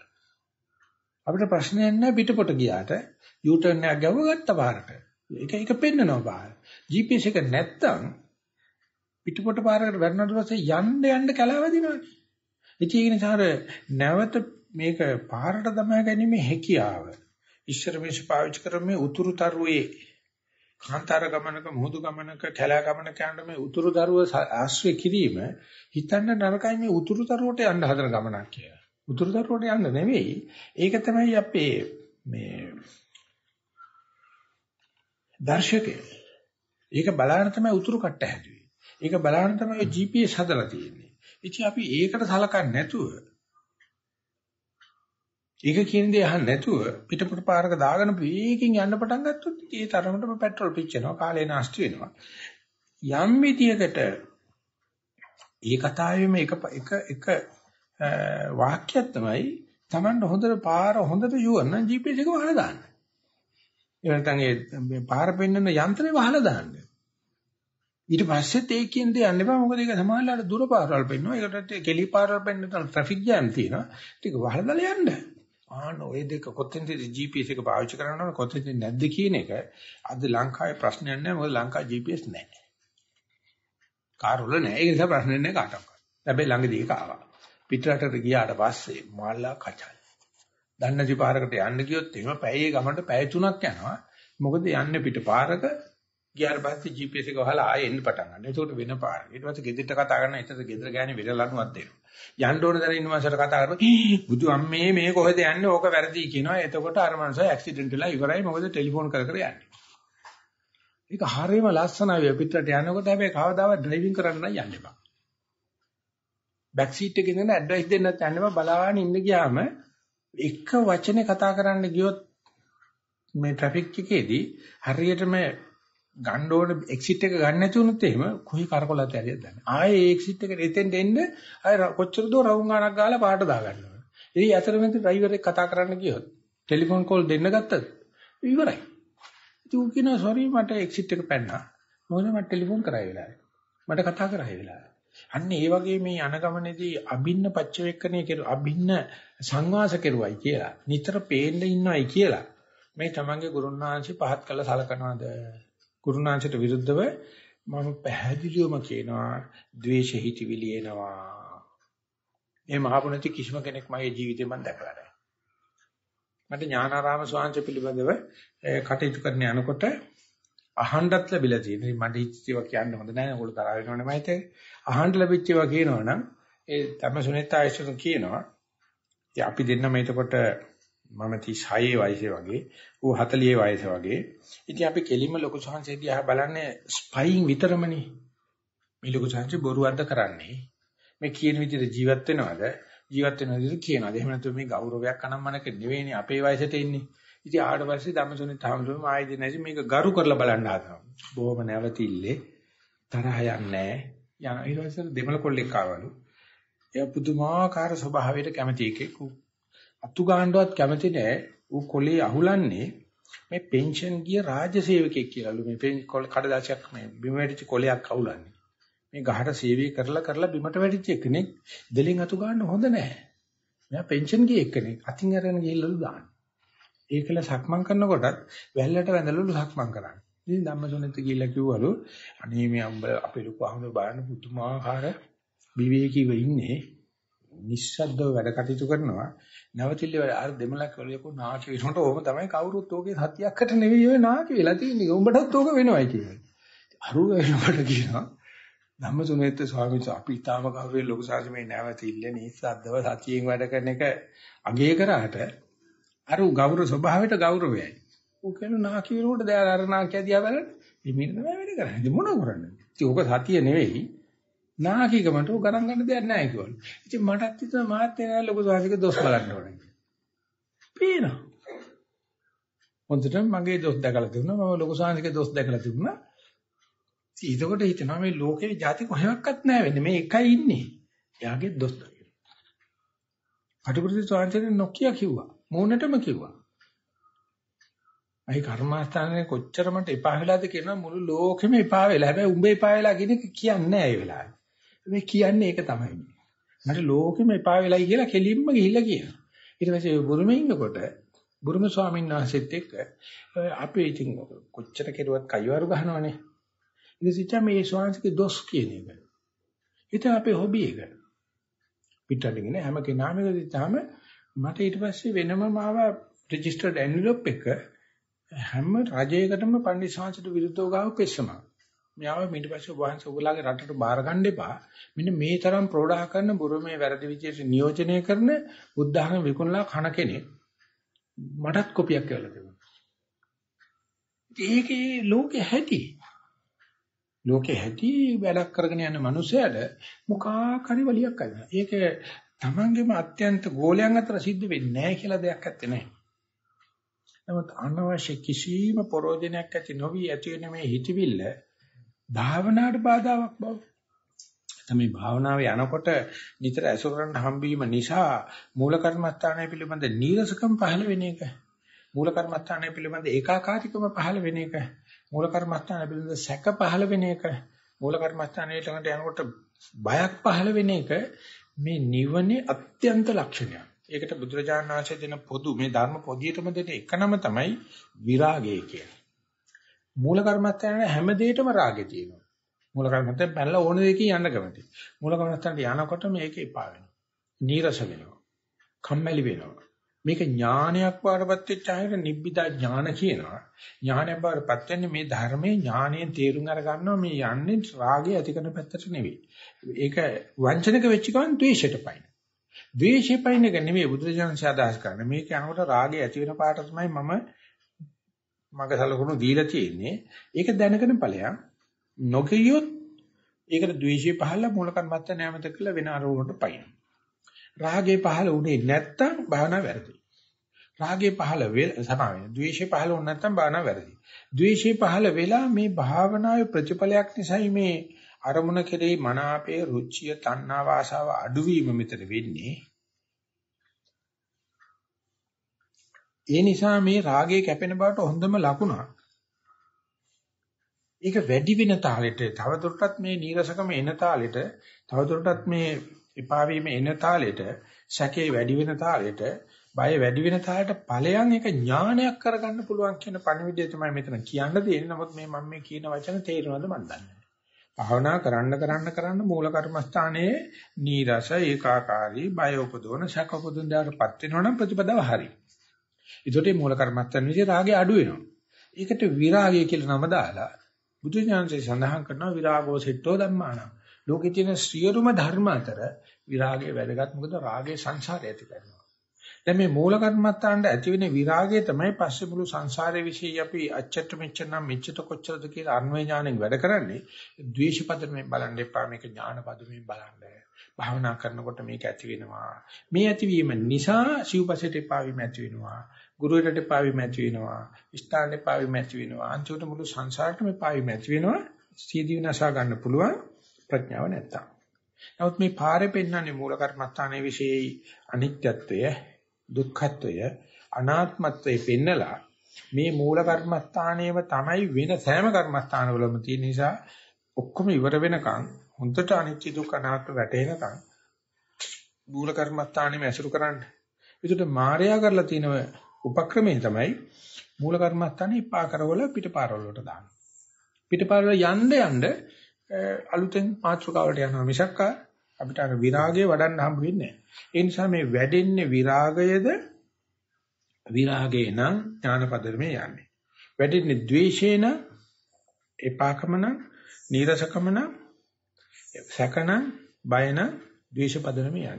කවදද මේ ද්වේෂපදනමේ තිබුණ අත්දැකීම ඥානපදනමට යන්නේ කියන තමයි යෝනිසමංස්කාරය අයෝනිසමංස්කාරය කියලා කියන්නේ. මිච්ඡා දිට්ඨි සම්මා දිට්ඨි කියලා කියන්නේ. අවිජ්ජා විජ්ජා කියලා කියන්නේ. ඒ නිසා මෙතන ඉන්න කිසිම කෙනෙකුට ඒ සම්බන්ධ අත්දැකීමේ කිසිම අඩුවක් නැහැ. ඔක්කොම අත්දකලා තියෙනවා. හැම කෙනාම ද්වේෂපදනමෙන් බැලුවොත් භාවනා මධ්‍යස්ථානේ පාවෙනවා. මූල කර්මස්ථානේ පාවෙනවා. මේ ආහාරේ පාවෙනවා. ඉදුන් හිටුන් ගැඳු කොට මෙට්ට ඇඳලා එපා වෙනවා. නිකම්ම නිකන් මේ කම්මැලි වෙන නීරස වෙන ගතියක් තියෙන. හැබැයි මෙයා තේරුම් ගත්තොත් මේකේ අනිත් පැත්ත රාගේ. ඒක අනෙක් පැත්ත සංසාරේ වඩන සංසාර වර්ධනයට එකම හේතුව රාගය. දැන් මට මේ රාගය වෙනකොට විරාගය එන්නේ ඕක පුද්ගලි පෞද්ගලික කරන්නේ කරන්න එපා. ඕක අරමුණට හේතු කරන්න යන්න එපා. ඕක පොදු ධර්මතාවයක් විදිහට බලන්න කොච්චරක මානසික පසුබිමක් නැත්තම් දර්ශනයක් ලෑස්ති වී යෑමක් තියෙනවද කියලා බැලුවොත් බටහිරේ අද පෙන්වන්න හදනවා ඒ මේ මානසික తত্ত্বය ඒ ලෑස්ති වී යෑම ජම්ම ලකුණක් මිස මේ ජීවිතේ හදන්න බැරි එකක් කියලා. මම නැවතත් කියනවා මේ සංසාරයේ දිහා ඇති වෙන භාවනා කරනකොට මේ සංසාරයේ දිහා ඇති වෙන නීරසකම, කම්මැලිකම, ඒකාකාරීකම අරමුණ කෙරේ පටවන්න යන්න එපා. ගුරුවරයා කෙරේ පටවන්න යන්න එපා. ස්ථානයට පටවන්න යන්න එපා. ඍතුවට පටවන්න යන්න එපා. ආහාරයට පටවන්න යන්න එපා. මේකයි විරාගය කියන්නේ.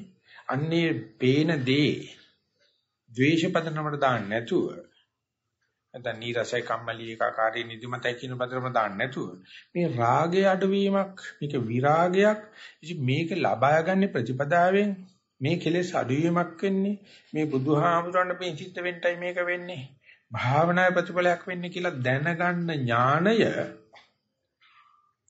ඒගොල්ල කියන ඥානගත දෙයක්. ඒක තියෙන මිනිහා තේනවා. ඒ මනසට භාවනා හරියනවා. නැත්නම් මනස කොච්චර භාවනා කරත් ඒ මනස බලන්නේ මේ එන කම්මැලිකමක් හරහා එක්ක මේක ආහාරයේ දුර්ලභම, ගුරුවරගේ දුර්ලභම, අරමුණේ දුර්ලභම කියලා ඒක පෞද්ගලික කරන එක. ආත්ම වශයෙන් දාන. අනාත්ම වශයෙන් බලලා මේක බලන්න පුළුවන් ගතිය උපනිෂ්ඨේ සම්පත්තියක්මද එහෙම මේ ජීවිතේ මේ බණ අහනකොට කාට හරි එක වෙනස් කරන්න පුළුවන්ද කියන එක බුදුරජාණන් වහන්සේ ඒකාන්තයෙන්ම උපනිෂ්ඨයටම දාලා නැහැ. බුදුරජාණන් කියනවා මේ සුත්තමේ ඥානයේ වශයෙන් ඇහෙන එක කල්පනා කරන තරම් උකුණු පස්සපත්තක් තරම් මොළ ජහතුවක් තියෙනවනම් භාවනා කළා විතරක් හරියන්නේ නැහැ. මේ භාවනා කරනකොට ලැබෙන ප්‍රතිඵල මනින්ද කිරන්න යන්නේ නැතුව ඒක ඇති වෙන තාලෙන් කියන්න ගුරුවරයාට හොඳ වැරදි බලන්නේ නැතුව ඒකල හැම වෙලාවෙම මූල කර්මස්ථානයේ තියාගෙන ඉන්න උතුරු කට්ට වගේ එහෙම නැත්නම් උතුරුතරුව වගේ GPS එක වගේ ඒකල බලන්න කොයි જાති ඇවිල්ලා කතා කරත් මට මූල කර්මත්තර දෙක ඉන්න පුළුවන්ද කියලා. එහෙම නැත්නම් මේ නිතර ඇසුරු කරනවා කියලා පඬිතුක සාරිපුත්‍ර සාංශේ අව탁සේරු කරන්න එපා. මේ අනික් පිණිසුන් බැරි කෙනෙක් ඇසුරු කරන්න මට පුළුවන් අයියෝ ඔයාගේ මොන ගුණයක්ද කියලා පහත් කරන්නේ නැතුව මට බුදුහාමුදුරන් අඳුල්ලා දුන්නේ. මෙයානි මගේ උපාධ්‍යයන් වහන්සේ කියලා ඒ අභින්න සංවාසයේ නිසා අවජානායව කරන්නේ නැතුව එහෙම නැත්නම් අපචනය කරන්නේ නැතුව ඇසුරු කරනවා නම් සත්පුරුෂ ගතිය කියලා කියනවා. ඉතින් මම මේ අවසාන පාවිච්චි කරපු වචන ටිකේදී වාක්‍ය ටිකේදී කිව්වේ මේක ඇත්තටම කිව්වට තේරුම් ගන්න පුළුවන් එකක්ද ජාතකෙම ගෙන අප එකක්ද කියන එක දන්න අමාරුයි. මේකට නිදර්ශනයක් මම කියන්නම් ලෞකික එකක්. අද හැදෙන හැම දරුවෙක්ම අම්මට අප්පටයි වෛර කරනවා. අම්මලා දත්ත දැනගත්තා. හරි උඳගත්තා. ඒක ඒක සමාජ ප්‍රසිද්ධ කාරණා. ඒ උන්දල තමයි මේ රෑදවල් මහන්සිලා කණ්ඩ දෙන්නේ. හැබැයි එක දරුවෙක්වත් අම්මා තාත්තා දෙන දේ ඇති කියන්නේ එයා හිතනවා මම තාත්තා මේට වැඩිය හොඳින් කරන්න පුළුවන්. ඒ නිසා මේ දරුවන් මේ දෙමව්පියන් කෙරේ ඇති කරලා තියෙන द्वේෂය සංසාර දුක බව දන්නවනම් මේක දරුවෝ දෙමව්පියෝ විතරක් නෙවෙයි මේක වැඩිකාරෝ කවුරුත් වැඩිකාරෝ නමුත් දරුවට පේන්නේ නිතරම දෙමව්පියෝනේ. උන්දලානේ අපිට කන්න බොන්න දෙන්නේ. ඒ නිසා හිතනවා මොන්න මීට වැඩිය අපිට දෙන්න පුළුවන්.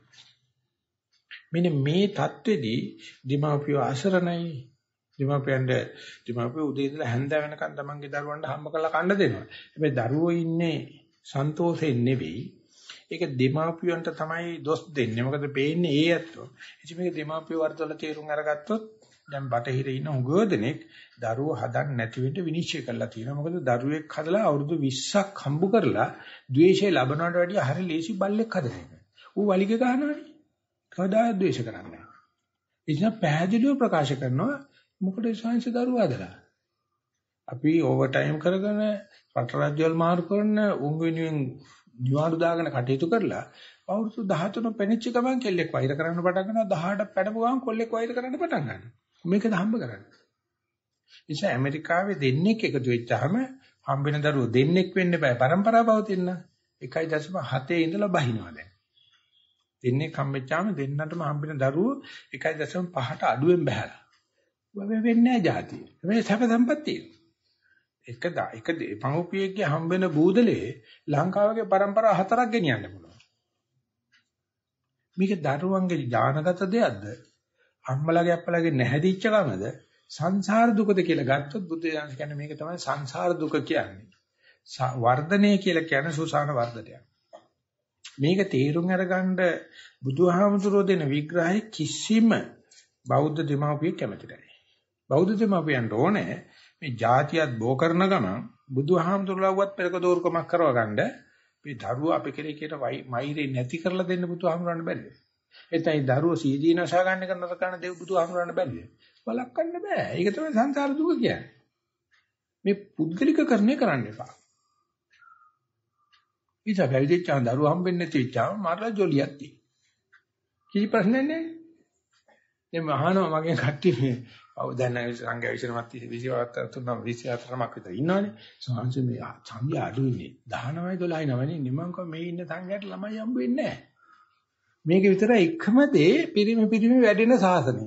පිරිමි පිරිමි වැඩෙන જાතිය මේ සංඝ සමාජය විතරයි.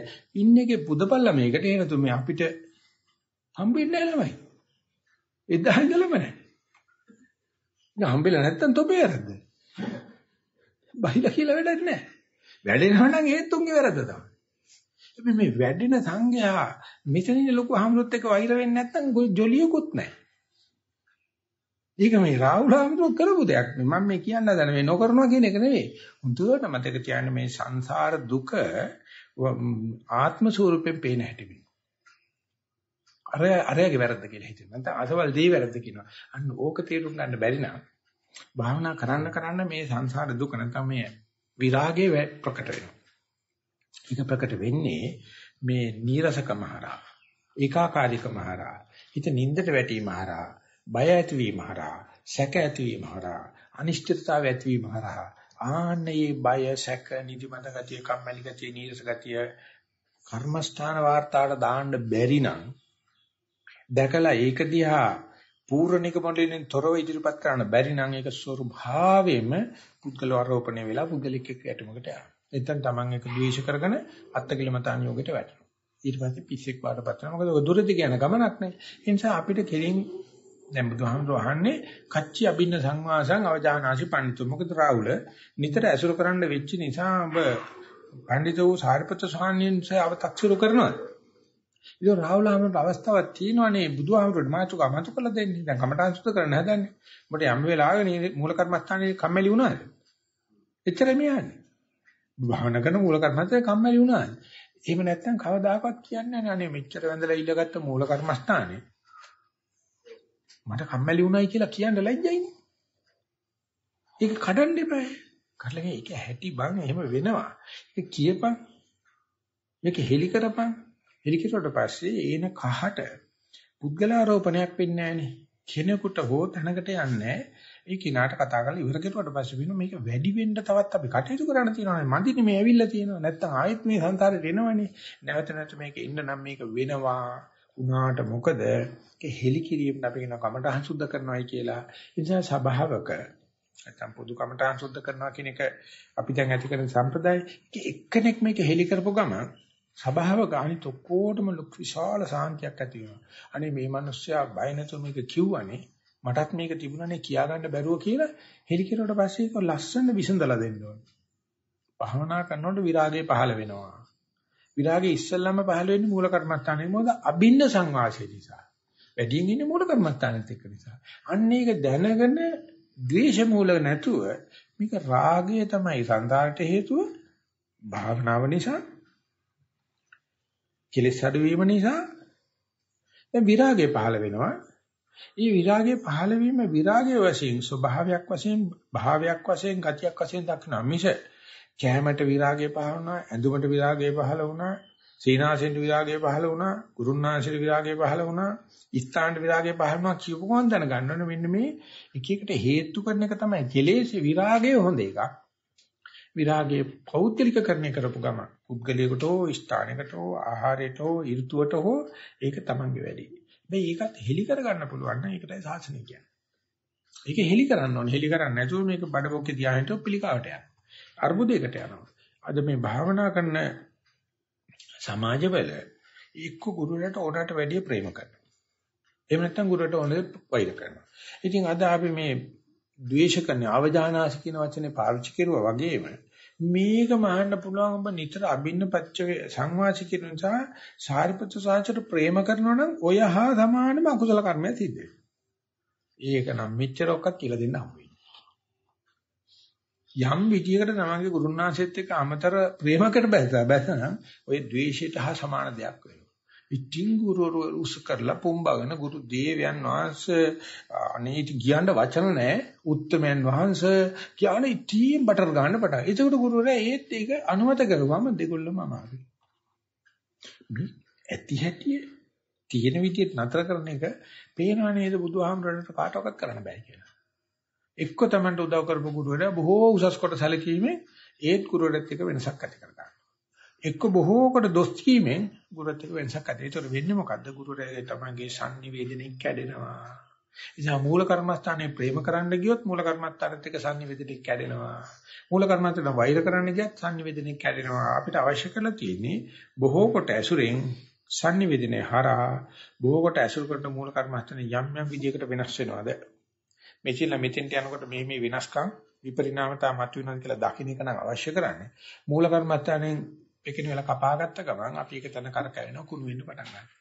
ඉතින් ඒක නිසා මේ සූත්‍රයේ ආචාර ධර්ම පැත්තෙන් බලනකොට ගුරුගෝල සම්බන්ධතාවය පිළිබඳ ශාස්ත්‍රඥ වංශය නගන ප්‍රශ්නයක් වශයෙන් පෙනී හිටියට භාවනා කරන පිරිසක් වශයෙන් අපි නිස්සන්වනේ බණ කියනවාට ගන්න පුළුවන්. අපි යම් තැනක කිවිසගත්තා නම් මෙන්න මෙයා තමයි මම මූල කර්මස්තෙන් අභින්න සංවාදයට යන්නේ කියලා. ඒ කෙනා පිළිබඳ ද්වේෂය ආවේ නැත්තම් භාවනා කරලා නැහැ. ද්වේෂය ආවට පස්සේ ද්වේෂේ ඥානපදනකට දාන්න බැන්නම් ඒකෝලයා මැට්ටා. ද්වේෂය ආවයි කියලා විස්තර කරන්න තරම් ඒකෝලයා කටපා මේ විවුර්ත කරගන්න බැන්නම් ගුරුනාංශේ මෝඩයා. ගුරුවරයා ඉලිකලාට පස්සේ ඒක හරියට අර්ථකථනය දුන්නොත් බුදුහාමුදුරේ එතන ඉන්නවා වාගේ කමඨාන සුද්ධ වෙනවා. ඒ නිසා මේක සජීවී ශාසනයක්. ඔක්කොටම හරියන කමඨාන සුද්ධ කරන්න එක්කිනෙකුට බෑ. නමුත් එක්කෙනෙක් හරියට මේක ලියා ගන්නකොට පිරිසක පිරිස ඔක්කොටම පුදුමාකාර සන්තෝෂයක් ඇති වෙනවා ශාසනය ජීවත් වෙනවා කියලා. ඒකට තේරෙනවා මගේ මාන්නේ මම බිම තියන්න ඕන. මම අසීමිතව භාවනා කරන්න ඕන. භාවනා කරලා පස්සේ හොඳ පැත්ත විතරක් නෙවෙයි නරකත් පේනවා. ওই විදිහට දොස් කියන විතර නේ හොඳත් පේනවා. දෙකම වැඩක් නෑ දෙකෙන්ම වෙන්නේ sannivedanaye අයින් වෙනවා. ඉතින් ඒ නිසා මේක ගෘහ වාසී අපදරුවන් එක කොහොමඩක්වත්ම කරන්න බෑ. මේක කෙරෙන්නේම එක්ක ආදරෙන් එක්ක ද්වේෂයෙන්. මේ ගුරුවරයෙක් එක්ක නැත්නම් මේ తాවකාලිකව Taman ඉදිරියෙන් තියාගත්ත ශාස්ත්‍රුන් වහන්සේ නමක් ගුරුවරයෙක් මූල කර්මස්ථානෙත් එක්කත් අමාරු නම් කුසින් වදාගත්ත දරුවෝ නැත්නම් අම්මා අප්පත් එක්ක අපි සංසාරේ බැඳිලා බැඳිල්ල කාම ඕගය භව ඕගය හිතා ගන්න බෑ. කෙලවරක් කරන්න බෑ. අපිට උවරලා තියෙන ස්වභාවය. කියන්නේ අම්මට තාත්තට ප්‍රේම කරන එක හරිසෝක් ප්‍රභාකරන්න වෛර කරන එකත් හරිසෝක් ඔය දෙකම කරපළ නැත්තම් සිංහල බෞද්ධය නෙවෙයි. කාලා තියෙන කෑමන කියන්න නරක එළියක එළිය කිව්වොත් එම ගල් ගහනවා. ඉතින් අර ඇතුළත ඉන්න නිසා අපිට ප්‍රශ්නයක් වෙන එකක් නැහැ. මොකද මේ වගේ දේවල් කියලා මට කට උරු වෙලා තියෙන්නේ. එන්නේ නැහැ මයිත් එක කවුරක්වත් මොනවද කියන්නේ. ඒ නිසා මේ දෙක තමයි ආගම කියන්නේ. ඉතින් මෙතෙන්ට යනකොට ආගම බිම තියන්න එපා. බිම තියලා මම ගැලවෙන්න නම් අතිරේක වැඩි සෙනෙහක් ඕනෙත් නැහැ, දබරයක් ඕනෙත් නැහැ. මොකද වැඩි සෙනෙහ දබරෙටයි. වැඩි සෙනෙහ කියලා කියන්නේ අභින්න සංවාසය. නිසා අභින සංවාසිත මූල කර්මත්තනේ තියාගන්න පරියන්කේ ඉන්නකොට පුළුවන් තරම් බලන්න ඔය කොයි අරමුණු නිමිති පහළ වුණත් මම ඉඳගෙන ඉන්න බව දන්නා තාක්කල් භාවනා වැඩෙනවා. මේ ඉඳගෙන ඉන්න එකේ ඇතුළත සිදුවෙන ආනාපානෙ එහෙම පේනවනම් ඊටත් වැඩි සැරින් වැඩෙනවා. ආනාපානේ පෞද්ගලික ලක්ෂණ සටහන් ආකාර පේනවා භාවනා වරුවයි යන්නේ දියුණු වෙන්නේ. සක්මන් කරනකොට මම ඉඳගෙන නෙවෙයි සක්මන් කරන බව දන්නවනම් භාවනාව වැඩෙනවා. ඔය කොච්චර හිතවිලියාවක් කොච්චර සද්ද ඇහුණා. සක්මන් කරනකොට ඒ අතරමැද වම දකුණු වශයෙන් තේරෙන පටන් ගත්තා නම් අට වැඩි වේගෙන් බහනවා වැඩෙනවා. මේ වම තියෙනකොට දැනෙන ස්වභාවික ලක්ෂණ ආකාර සටහන් කියන්න පුළුවන් නම් වැඩි වෙලා භාවනා කරන්න ඕනේ නැහැ. ඉදින්දා ජීවිතේ කටයුතු කරනකොට තමන් ඉන්න ඉරියව්ව. මම දැන් මෙතන ඉන්නවා කියන එක දන්නවනම් උන්ද මායයටත් බිම දාන්න බෑ. එනොත් ඒ වෙලාවේ මම මේ චේතනාවේ මෙතන ඉන්නේ කියලා දන්නවනම් මම මේ පිඟානක් හොදනවා මම වැසිකිලි කරනවා කියලා අයිට වැඩි භාවනා දියුණු වෙනවා. ඒතර මේ චේතනාවට අදාළව තමන්ගේ අතුල්පතුල් වලට වැටෙන දේ ප්‍රකාශ කරන්න පුළුවන් නම් වරුවයි භාවනා කරන්න. ඉතින් ඒ ටික වළක්වන්න කවුද ඉන්නේ කියලා බලන්න අපිට. මම ඉඳගෙන ඉන්නකොට ඉඳගෙන ඉන්න බව දැනගන්න එක වළක්වන්න කාටද පුළුවන් කියලා. හිටගෙන ඉන්නකොට හිටගෙන ඉන්න බව, ඇවිදිනකොට ඇවිදින බව, ඉදිනදා වැඩ කරනකොට ඇවිදිනා වැඩ කරන බව. ඉතින් මේක තියාගෙන අපි එක ගුරුවරගේ දොස් දකිනවා. භාවනා උපදේශයේ දොස් දකිනවා. ස්ථානයේ දොස් දකිනවා. ආහාරයේ ඍතුයේ දොස් දකිනවා කියලා කියන්නේ ඒ තමයි ආත්ම සංඥාව කියන්නේ. ඒ නිසා අපි මේ කෙහෙල්ගෙඩික පොත්ත ගලවන්නා වගේ ගලවලා ඉදුණාට පස්සේ රසවත් මදේ කන්නා වගේ මේක සුද්ධ කිරීමට කමඨාන් සුද්ධ කිරීම කියලා කියනවා. ඉතින් මේක ඇත්තටම ධර්ම දේශනාක ස්වරූපේ මතුනන මේක දෙබසක්. එනතන් සාකච්ඡානුගහිතයක් වෙන්නේ. හොඳට භාවනා කරලා විශේෂයෙන් මේ මේ අත්තරද්දට අහුවෙලා තේරුම් ගත්ත කෙනෙකුට තේරෙනවා මේක මට විතරක් වෙච්ච එකක් නෙවෙයි බුදුහාමුදුරුවෝ දැනගෙන අවුරුස පුත්‍රයාට සාරිපුත්තු සාංශය පිළිබඳ කහටක් ඇති වෙලා තියෙනවා නම් නැති කරන්නත් ඒ වගේ අනිත් ශාක්‍ය පුත්‍රයන් වහන්සේලාට ශාක්‍ය දීතා ගන්න මේක උඹලට එනවා ඒක බලක්වන්න එපා තරහ එනවා. නමුත් ඒ තරහ ආවට පස්සේ ඒ තරහ ඇති කරගන්න ඕන කරලා තේරුම් අරගන්න මේක නිබ්බිදාවේ ලක්ෂණයක්. භාවනා කරන කෙලස් කැපීමේ ලක්ෂණය. විරාගයේ ලක්ෂණයක් මිසක පුද්ගලික ලක්ෂණයක් වශයෙන් ගන්න එපා කියන එක වටහා ගන්න පුළුවන් නම් මේ කමඨාන් සුද්ධ කිරීමකුත් වෙනවා ධර්ම ශීර්ෂනාවකුත් වෙනවා. ඉතින් මම හිතනවා මේ කාරණා නිසා තමන් ගෙන යන ආධ්‍යාත්මික ජීවිතය මේ තියෙන සියුම් සියුම් කහට සියුම් සියුම් ඇහැට වෙච්ච කුණ අයින් කරගෙන දෘෂ්ටිය පිරිසුදු කර ගැනීමට මේ ධර්ම දේශනාවත් හේතු වාසනා වෙනවා ඇති කියලා එසේ වේවා කියන ප්‍රාර්ථනාවේ ධර්ම දේශනාව නැත කරනවා සියලු දිනාට සැනසීම උදා වේවා කියලා ප්‍රාර්ථනා කරනවා.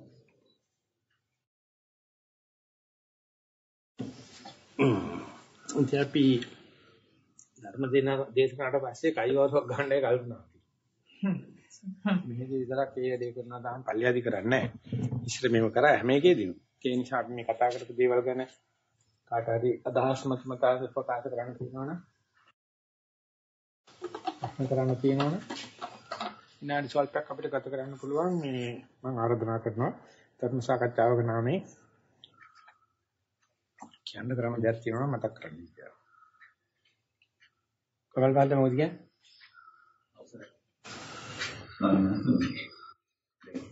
උමාතේ මුල කර්ම සාහිත්‍ය වැදගත්කම ඇරිදි කරා. නමුත් ආනාපානිය වගේ මුල කර්ම සාහිත්‍ය දැක්කම ඒක උදේටම සංසිඳිලා ගියාට පස්සේ කොහොමද බලන්න ඕනේ. පාර දන්නවනම් GPS එක අයි කරාට කමන්නේ. සැකන සැකන මුදින් යනකොට සැක නැහැ. ඒතියදී සැක කරනවා කියන්නේ කෙලෙස්. දැන් තමන් දන්නවා GPS එකට තියන්න පුළුවන් ඒ GPS එක දාන්න වෙලා ගන්නවා පාරණත කළ වාහනේ. එතකොට මොකද කියන්නේ? දැන් දන්නා මේ වහර ෂුවර්. ඒත් කියනවා මේ කට්ටිය අහනවා ඔය කට්ටිය හරි ඇත්තටම දැනගෙන තියන්නේ වනේ පොඩ්ඩක් ඉඳු. වාහනේ පැත්තට නගලා GPS හයි කළා ඕන ඔයගොල්ලෝ බලාගන්න කියලා දෙන්න නේද. කන පැලෙන්න ගාලා පිටිපස්සේ කර කතා කරලා වාහනේ ඉන්නවනම් කල්පනා ඵලයන් මම පාර දන්නවා. මොනෝ ප්‍රශ්නයක් අතෙන්නේ. අපිට එලා තියෙන මේ යන කට්ටියට විස්තර කරන්න මට වැඩි උන් අදහනවා GPS එක. වාහනේ පාරයින් නතර කරලා GPS එක දාලා පෙන්වන්න හදනවා. ඒ කියන්නේ මේ මොහොතේදී මේක පේන්නේ නැත්නම් අමන්ට ඒක නෙමෙයි රෂ්ටි යන දෙම්බට සැකතයක් තියෙනවා. දැන් මේ ආපු පාර අර ගොරෝසු දැන්ලා මෙතෙන් දෙනකම් පාර දන්නවනම් මේ කෙලෙස් අඩුවීමක් බව දන්නවනම් ප්‍රතිපදාවක් බව දන්නවනම් එයාට හම්බෙන වාසිය තමයි සැක නැහැ දැන්. මේ තියේදී සැක කරන එකට කියනවා ප්‍රපංච කළ යුතු තැති තනක ප්‍රපංච කිරීම කියලා. ඒකට බේත් ඇත්තේ නැහැ සාසනෙ. අද භාවනා යෝගාවන්තර තියෙන ඔච්චරයි. ප්‍රපංච කළ යුතු නැති තැනක ප්‍රපංච කරනවා. අහන්න පුළුවන් ප්‍රශ්නේ. දැන් මට සංඥාවක් නැහැ ස්වාමීන් වහන්සේ මිනී කරන දෙයක් නැහැ ස්වාමීන් වහන්සේ යන්නේනාතපාතයක් නැහැ ස්වාමීන් වහන්සේ මේ මේ නිමිත්තක් නැහැ. දැන් එතනට ගිහිල්ලා ඉන්නේ මේ. ඉතින් ඊට පස්සේ මොන නිමිති දායන එතකොට සතිය සතිය ඉවරයි. යාගේ සීවි අමාරයි. පණ්ඩිසාන්ත කියනවා දැන් අපි නුවර ඉපදිච්ච කොල්ලෝනේ. කටු ගෙට යන්න ඕනේ. කටුගෙට යන්න දැන් හරි අමාරු වෙන්නේ වන් වේස් දාලා අනම්මන. දැන් කටුගෙට ගියාට පස්සේ මේ කබඩ් එක බලන ගමන් කයින්කට යවොත් දැන් කටුගෙට යන්නේ කොහොමද කියලා? ජෝ කබඩ් එක බලනව නෙමෙයිනේ දැන් මේ. ඌ දන්නේ කොහෙද ඉන්නේ කියලා. දැන් මෙතන ඉල්ල කොහොමද කටුගෙට GPS පෙන්වන්නේ ඒ වගේ අර විවේක වෙච්ච එකේ පාර දන්නේ නැත්නම් එතකොට තියෙන අසහනේ අඩුවීම දන්නේ නැත්නම් ආතති අඩුවීම දන්නේ නැත්නම් ඒ ඒතිෙදි ප්‍රශ්න අහනවයි කියලා කියන්නේ සාරිපුත්‍ර සාන්තේ කොටිස සාන්තේ කියනවා ප්‍රපංච කළ යුතු නැත්නම්ක ප්‍රපංච කරන ආයෂමතු ඒකට බේත් නැහැ. ඒකට හිතන ඥානයක් කියලා. නෑ. සැකය පංචා කරන ඥාන ස්වරූපේ අර හිතනවා මෙතෙන්දි අහන්න ප්‍රශ්නයක් තියෙනවා ප්‍රශ්නේ සාධාරණයි ඇත්තට ප්‍රශ්නේ හරි වැලි නමුත් සැකෙන් ඉනවයි කියන එක තේරුම් ගත්තොත් එයා සැකේ කරන්නේ ගුරුවරයාව. සැකේ කරන්නේ ධර්මය. හැබැයි Taman සැක කරන පුද්ගලයාට ඔතනින් එහාට හැමදාම ලැබිච්ච සම්පත්තියට සමාදම් වීමක් නැහැ. එයා දන්නේ සමාදම් වෙන්නේ මොකද එයා නිවන කියලා පතලා තියෙන වෙන මොකද්ද ඒක? එයාට මේ කහ පාට ආලෝකයක් උඩට යන ඉනිමගක් නැත්තම් මොකද්ද ඊළඟ ඉන්න. දැන් මෙතන මොකුත් නැහැනේ. ඒක ආරම්භක දේෙම වැරදි. අහගෙන ඉන්න කමටහන් සුද්ධ කරනකොට දවසක් අහගෙන ඉන්න හැම කෙනාටම තියෙන්නේ මේ දීග කැඩෙන හරියක් කැඩෙන්නේ සැකේට මිසක් හැම ගෑණියක්ම මිනිහෙක් එක්ක හැමනෙන්න නිසා නෙවෙයිනේ. හැම මිනිහෙක්ම ගෑණියෙක් එක්ක හැමනෙන්න නිසා නෙවෙයිනේ. සැකේනේ. ඒක වළක්වන්න ක්‍රමයක් නීතියෙන් හදන්න පුළුවන්. ඒ නිසා අද විවාහ රෙජිස්ටර් වෙනවට වැඩි ප්‍රමාණයක් දික්කසාද රෙජිස්ටර් වෙනවා. ඔක්කොම යා හිතනද කාමීත්‍යචාරය කියලා. නෑ සැකයක් ආවට පස්සේ මොකද නතර කරන්නේ? තමන්ගේ පුරුෂයා ගැන ගෑනට සැකයක් ආවට පස්සේ පුරුෂයා එක නැහැ කියලා පෙන්වන්න පෙන්වන්න ගෑනට සැක වැඩි.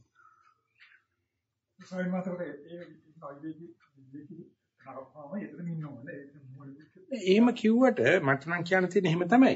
ඉතින් එයාට පේන්නේ ඒක නිකන් අපරාධ ෂෝක් එකට ඉඩම හම්බෙච්ච වෙලාවේ නිකන් ඉන්නකොට හරි පවක් පිනක් සිද්ධ වෙන්නේ නැහැ. මේ පින් කරලා සද්ද නැහැ. පින් කරනකොට හඳුන් කුරු සෝඳ ඉන්න eBay. බේර සද්ද පොඩ්ඩක් එන්න eBay. අර සද්වර්ණ කොඩි පේන්න එපා. දැන් මෙතන සද්වර්ණ කොටිත් නැහැ, සඳුන් කූරුත් නැහැ, බෙර සද්දෙත් නැහැ, දාඩිය ගඳත් නැහැ. කට්ටිය නිව උනවා වගේ.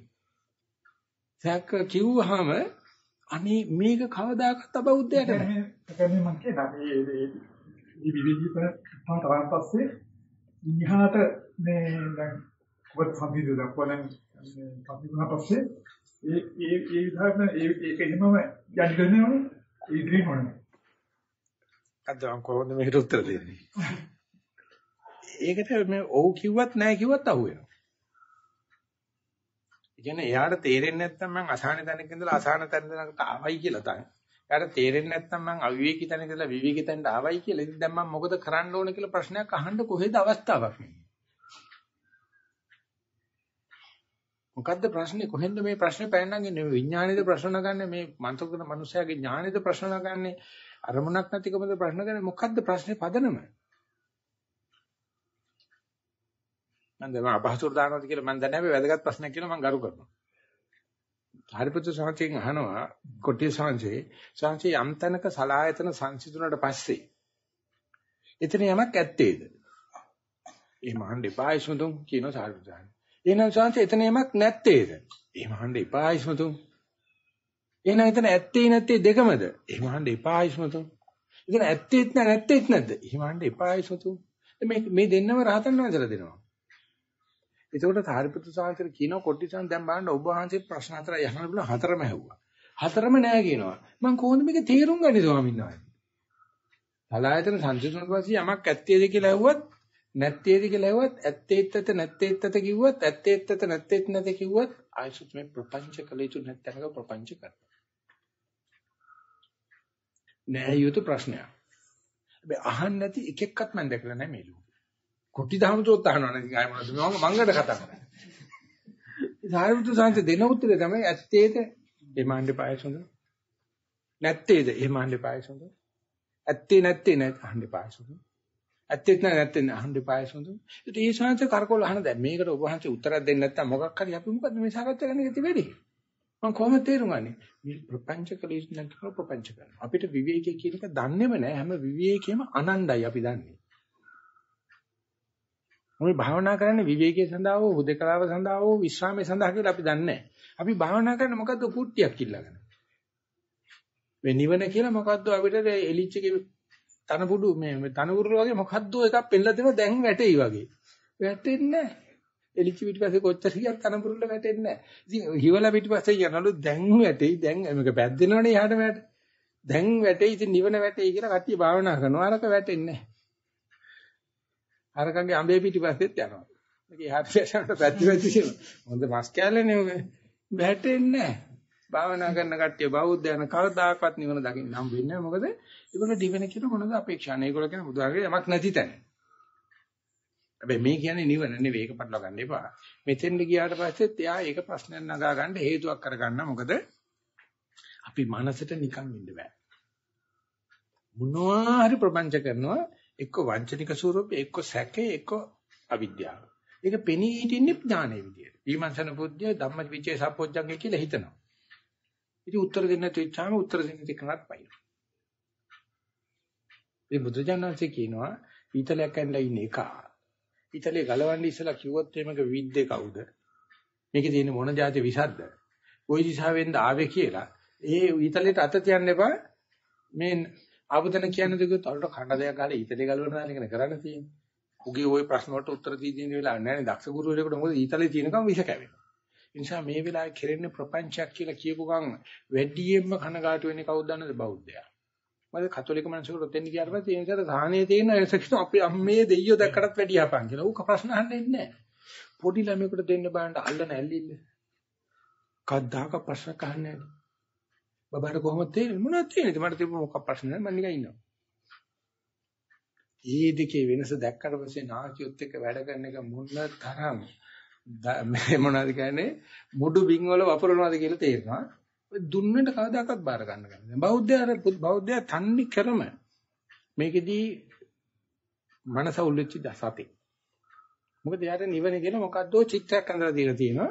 ඒ තියෙන අකුසල් නැති උනට මදි. දැන් මම මොකද කරන්න කියලා.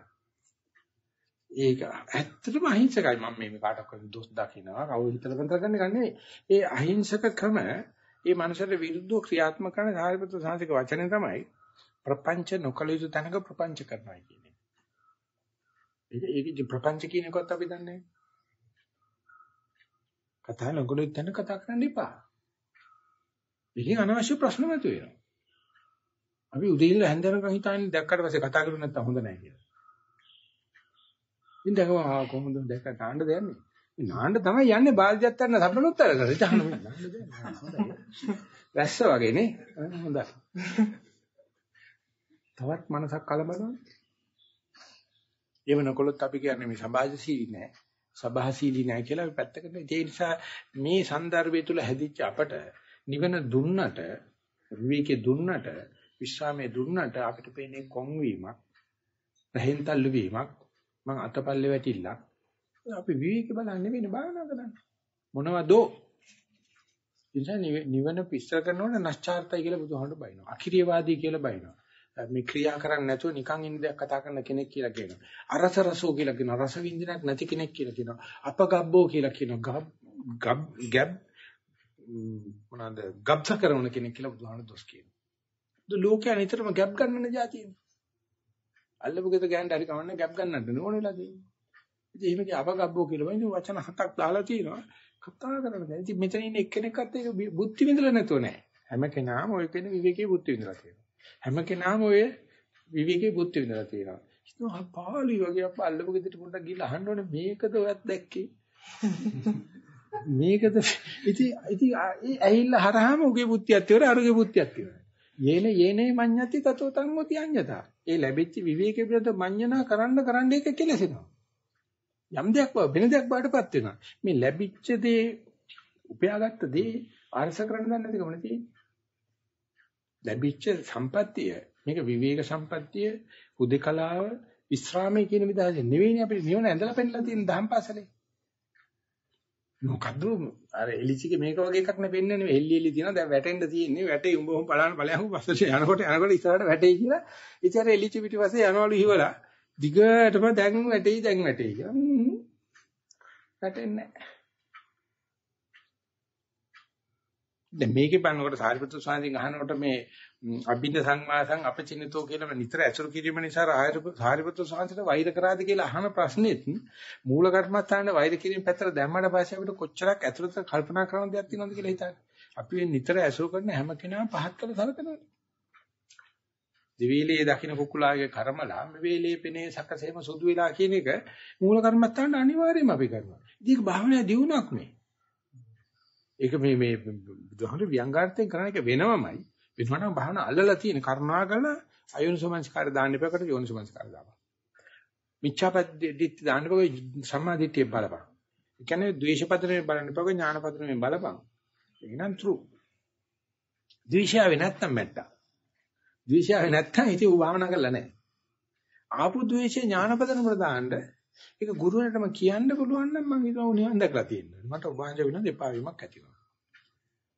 කවුරුත් කියන්නේ කියන්න බයයි නේ ඉතින්. ගුරුවරයා තියෙන කඩුව තියෙන්නේ. ඒත් කියන්න බලවන්න. මූල කර්මස්ථානේ මට එපා වුණා. ස්ථානේ මට එපා වුණා. ඔබ වහන්සේ මට එපා වුණා. ඒක දරන්න බැන්න මම හිතන්නේ හොඳ ගුරුවරයෙක් කියලා.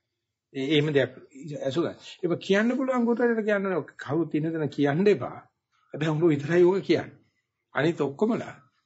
ඊටසක් ඒ රාජනීෂ් බණ කී කිය ඉන්නකොට එන්න සෙනගෙට ඉන්නේ ජාත්‍යන්තර මට්ටමේ සෙනගෙ ඉන්නේ. හරි දැන් දැන් සරත් වැඩි. එක්කෙනෙක් ඒ ප්‍රශ්න විචාරතක වැඩ පිළිවෙලක් ප්‍රශ්න ලියලා දාන්න නම නැතුව. උඹ කතා කරන හැමදේම මම පිස්සුවක් බං කියලා ලියලා තිබ්බා. උඹ කතා කරන හැම මගුලක්ම පිස්සුවක් බං කිය. දැන් නමක් නැහැ. මේ ප්‍රශ්නේ අරගත්ත පස්සේ රාජනිස්සාරණ කළු උඹ කතා කරන හැම දෙයක්ම පිස්සුවක් බං. ආ ජෝන් කියලා තිබුණා. ජෝන්. ඊට පස්සේ කිව්වලු පුළුවන් ද ජෝන්ට නැගිටින්න කියලා. දැන් බයයිනේ දැන්. සෙනගමද ඉතින් ජෝන් කියන මිනිස්සේ ළඟින් ඉන්නකොට පස්සේ ගොළු මචං ඒක කිව්වට පස්සේ මම නිකම්ම නැගිට්ටුනා ඉතින් මට මොනව වුණාද දන්නේ ජෝන් නැගිට්ටලු. ඊට පස්සේ කට්ටිය වල දැන් මේ ජෝන් කියන එකට අනුමත කරන කවුරු හරි ඉන්නවන අත උසන්නේ එක එක්කත් අත උසන්නේ නැතිලු. ඊට පස්සේ රාජෙන් බලව උඹට මටයි විතරයි බන් තේරෙන්නේ. ඉතින් තේරෙන්නේ මැට්ටෝ කිව්වා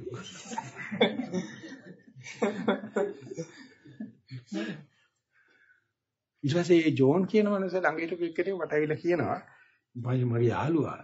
ඒ රාජනිෂ් කියනකොට කරුණාකර ජෝන්ට පුළුවන් නැගිටින්න? කියනකොට ඌ නිකන් රත් උනාලු නැගිටුනාලු නැගිටිනකොට පස්සේ කවුද රාජනිෂ්ත් ඉන්නේ හිටගෙන වගේ කතා කරන්නේ.